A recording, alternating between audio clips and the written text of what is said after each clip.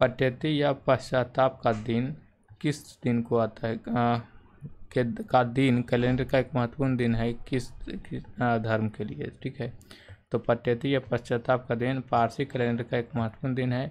पट्यति का दिन पारसी लोग भविष्य में विचार कर्म और कार्यों में अच्छे होने का वादा करते हैं। तो ऑप्शन नंबर यहाँ पर इस पट्यति पारसी के लिए ए करेक्ट होगा।